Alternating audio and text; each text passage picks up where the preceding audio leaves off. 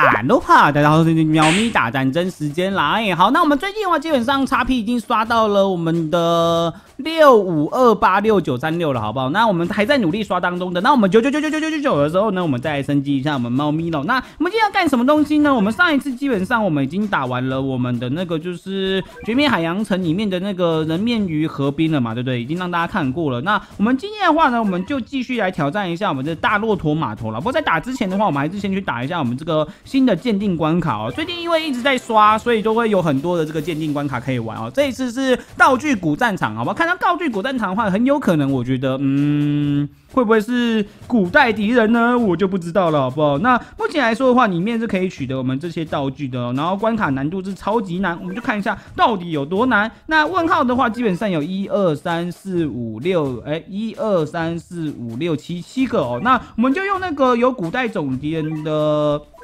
队伍来去打打看好了，要不然我们这边的话很有可能会直接被车掉，也是有可能的。我来看一下这个是什么字啊？什么基地？好不好？超级难，看一下里面长什么样子。七个问号啊！现在看一下，到底有什么可怕的生物出现？怎么跟我讲说古古道具战场，就怎么感觉好像不死敌人啊？如果是不死敌人的话，我们也会啊，真的是不死敌人呢。哇，不死敌人的话，其实对我们来说也是会蛮麻烦的，因为我们这套队伍的话，好像也没有什么可以打我们不死敌人的角色，没办法进化哎。我怎么每次都带这种带错队伍啊？但是他的那个，你要依照那个猫战的那个关卡来去评判这关卡到底有什么话，好像都没有说那么的准好，这边看起来，哇，真的都是不死敌人呢。我们看一下我们这样到底打不打赢好了，感觉会稍微有点痛苦哦，因为毕竟没有能够进化的角色的话，应该会有点夸张。古道具战场跟不死生物到底有什么关联？请告诉我为什么？为什么？好，这边话揍下去，两只不死小敌人直接死亡。那这边话除了我们不死敌人以外呢，还有我们红色小蛇啊。那看起来的话，猫侠应该是没有什么问题的吧？很久没出来的猫侠，真的是还是蛮 OK 的啊。直接直接一个不爽，为什么不让我登场？我直接揍爆他们，给你看看我的生死力没有问题。但是这边的话，感觉我们袋鼠好像还蛮悍的耶，完全打不死的感觉，有死掉了，然后变成骷髅头。变成骷髅头的话，其实也是蛮麻烦的啦。不过我们可以直接去碰它，应该是没有问题。那就是看一下剩下的字四只是什么。目前来说看到了不死小敌人、不死袋鼠，还有红色蛇蛇，所以还有……哦，这个可能就有点麻烦了，因为这是 这次我们又要输了啦！我的天呐，我怎么感觉我们最近打这个就是这个发掘关卡，我们都很容易输啊？这个这个敌人稍微有点夸张了，我说真的，他后面还有大坟墓哎。然后，如果是有红色山猪的话，我们这边用这个白雾后的话，应该还是可以先来扛住一下哦。不过，哎，真的有点难。这个挖掘关卡，你不要看它好像很简单，拿个道具而已，没有哦。这个关卡其实都还蛮有深度的，就是蛮有一点点强度的。但是看起来我们应该还是没有问题的。这坟墓不是那个钻地板会直接把我们塔给轰掉的坟墓了，就就还好。它是那个，它是那个千年沙坟墓哦。这个其实对我们来说就就还行。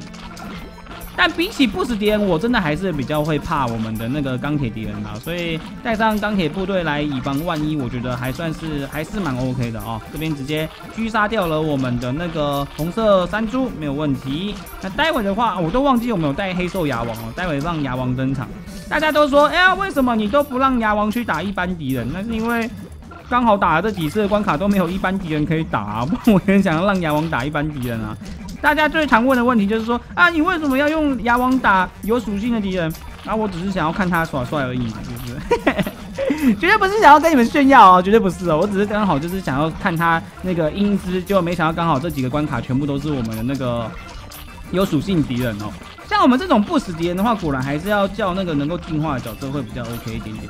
但是我觉得我目前来说的话，我们还算是扛得住的，所以也不用担心哦。那敌人的话，这边的话就是我们的大坟墓嘛，不死坟墓，然后不死袋鼠，然后红色蛇蛇，红色的斑海豹伤，再加上我们的呃不死小敌人，对，这样好像才几只啊？六只是不是？哦，还有不死小蛇，那这样应该就有七只了，没有问题。好。这边的话，顺利把我们的坟墓给解决掉了，就 OK 了。基本上，其实不死敌人他也不是永久不死啊。我记得好像只有那个北普还是谁哦，没有被进化的话，好像是永久不死，还是那个漩涡。因为后来我发现，就有一些不死小敌人的话，他们基本上被打两次的话，基本上还是会死的啊，所以也不用那么紧张哦。OK，没问题，还是 OK，直接碾过去啦，取得我们的关卡胜利，又是一个新的关卡——古道具战场啊！但是完全没看到。没看到古代敌人呢，没有古代敌人，你还敢说你是古是不是？好，再就是我们这个真传奇关卡，真的是让人家害怕的真传奇关卡。大骆驼码头，感觉这关卡一定有骆驼。那这边的话有骆驼的话呢，我们就带个带个不死敌人队伍好了。用哪一套？用用用用用不死敌人那一套好了。看一下大骆驼码头，这关一定有骆驼的啦。来看一下啊，到底会发生什么事？哎，不是啊。我带这个你就来这个啊！你我带那个你就你是怎样？你是故意的，是不是？我带不死阵型你就来古代种啦，好不好？然后我没有带不死阵型你就来不死生物啦，是不是？但基本上这个不死而不是古代种小敌人的话，我觉得应该还算是蛮 OK 的。我们就盾牌扛住就可以了。越来越多只哎，那我们应该要赶快想办法先叫那个小鹰出来了。那我们昨天的话有让大家看一下，就是新的那个诅咒炮嘛。那诅咒炮的话，就是也有那个总火效果，所以其实总火效果还算是蛮讨人厌的哦。盾牌先努力的出，加油啊！我们要叫出小鹰才可以把他们给击杀吧？我觉得。那目前来说，就是看一下待会会出现什么生物。我觉得这些都还好，这些小敌人真的都还好。我觉得比较麻烦就是那个，加油加油！就刚刚带的那个古代猫侠这关就没带，然后就一直出这个，哦，我的天！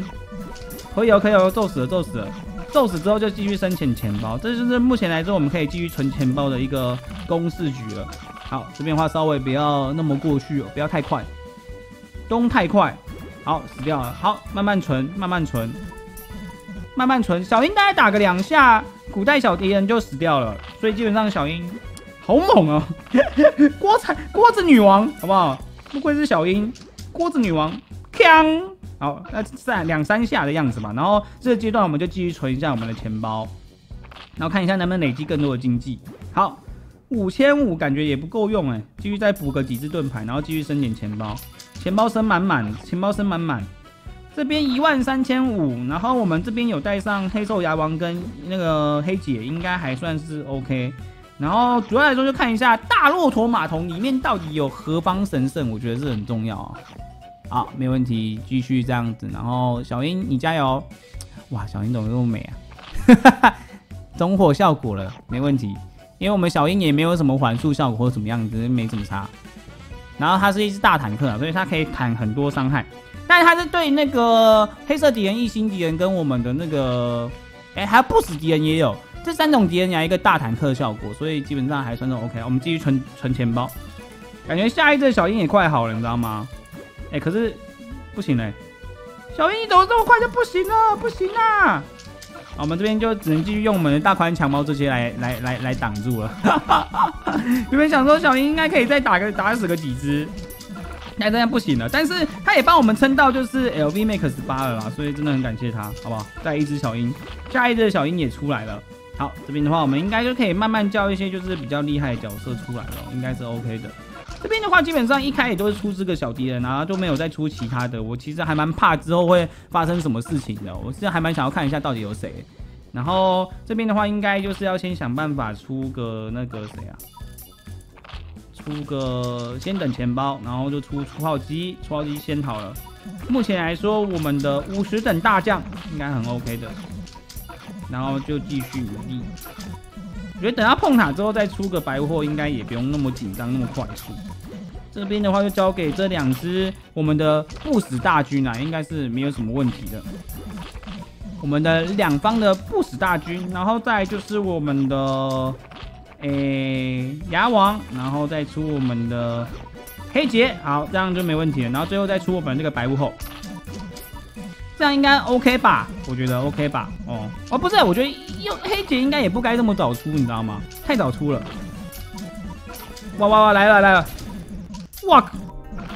哎，这这一次我觉得这个蛮棘手的。它居然是两个古代种一起，但是这边有飞蛾。哇，这个飞蛾，哇，这个飞蛾，我觉得这个飞蛾有点麻烦。主要来说，因为飞蛾来说的话，我们之前都是用那个就是二人组在打，但是我们这次基本上没有带。然后我们带一大堆打一般敌人的，有刚好有有堵到，因为这边有那个一般的小松鼠，所以用我们的黑兽跟我们的黑杰打小松鼠，我觉得还算是蛮蛮蛮蛮 OK 的啊，这个是蛮好的一个赌注。哇，这边疯狂的总火效果，所以我们也没办法缓速到那个菲尔了。然后白窝这边能力也丧失，就只能看一下能不能碾过去了。应该还算是 OK 啦，因为毕竟菲尔其实他的伤害也没有说那么高的嘛，直接把他给打死了，就剩下这个头皮脸哥了。哎，这还是我第一次看到，就是那个两种大王存在一起。哎，这次是我们的这个鹅鹅鹅，再加上我们那个，以往来说的话，他们都是一只大王配一只的这样子，所以其实就就还蛮哇。还蛮麻烦的，就是古代脸哥的头皮真的是看了看久了都还是会觉得怎么那么的逗趣啊！他在他在他在吐那个口臭的时候，他的头皮会晃哎，会飘哎，飘逸的头皮。那这关比较麻烦，就是除了我们的这个两只古代生物以外呢，还会有一堆那个红色脸哥，然后好像一次都是出两只的吧，所以应该还算是 OK 的。然后我们现在就是努力把我们这个口臭哥给他打死，应该就没什么太大问题了。口头哥的话，基本上攻击速度蛮快，但是他自己攻击伤害不会说那么的高。我们白货，当我没讲好，好像还是蛮厉害的。他就这样口臭把我们这些全部打掉了。我觉得这一次没有带上那个能打我们古代敌人的那些角色，真的蛮尴尬。尤其是没有带上翻掌帽，因为翻掌帽这边如果给他一个暂停的话，我们的输出量应该就颇大的，我就不用那么麻烦了，有没有？好，这边的话，小英最后一个锅子直接把我们的脸哥给打死了，所以小英真的。有点暴力耶，不过他好正哦，完全没问题哦。OK，那我们今天的话是顺利的出回杀我们这大骆驼码头了。里面虽然口古代敌人算是蛮恐怖的，但是我们还是 hold 得住，所以就还好。那一代的话是非常建议大家先存点钱包啦，然后就是呃顺利的话应该是先把我们那个古代的鹅鹅给打死之后，你就可以慢慢来料理一下我们脸哥。那这关的话绝对是非常建议大家带上我们的古代种的一些就是角色，就是氪金猫猫啦，比如说我们的那个诶二人组啊，或是我们的班长猫，绝对都是一些很好。的角色喽，哇，很久没有出回杀我们真传奇关卡哎，真的是太爽鸟，大骆驼码头完全没有问题啊，果然是上一个关卡很难之后呢，这个关卡就会变得稍微比较简单一点点哦。上一个关卡其实也没有说真的那么难啊，但是好啦，还是很难。好，那我们就要顺利打赢我们这绝灭海洋城里面的这个大骆驼码头，里面基本上是我们的古代种的鹅鹅跟我们古代的那个飘逸头皮的脸哥，好不好？那大家如果有遇到一些更可怕的组合的话，都可以在下面留言告诉泽平，你们遇到哪一些组合很可怕哦。那每天早上十点钟的十二点跟晚上你们晚上七点晚上你们都有影片，打开看一下啦。又是片再见喽，大家拜拜啦！